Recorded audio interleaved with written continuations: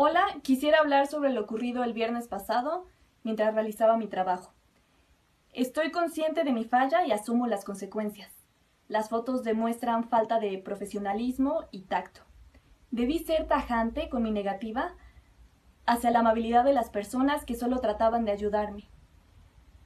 Un compañero fotógrafo tomó las imágenes y las compartió conmigo en nuestras redes sociales personales, sin afán de perjudicarme o exhibirme.